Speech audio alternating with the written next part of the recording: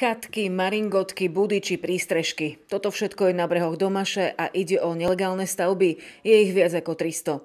Ich majiteľia si doslova sprivatizovali brehy. Slovenský vodohospodársky podnik obce na nelegálne stavby pravidelne upozorňuje. My musíme vyzvať stavebný úrad, aby nariadil je odstrániť. My takúto stavbu nemôžeme odstrániť svojvoľne. Podľa stavebného zákona búranie nariadi príslušný stavebný úrad.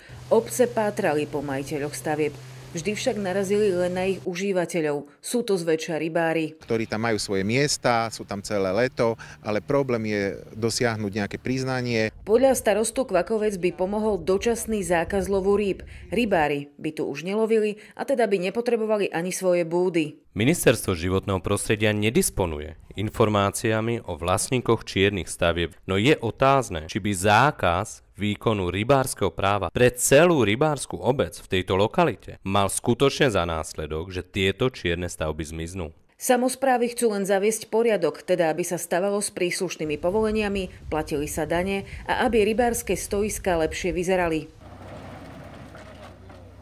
Kvakovce už maringotky či plechové prístrežky začali búrať. Náklady na odstránenie stavieb sú pre obce výdavkom navyše. Mohli by ich využiť na nové chodníky či odpadové hospodárstvo. Ak obec nezistí majiteľa, nemá od koho sumu za demoláciu vymáhať.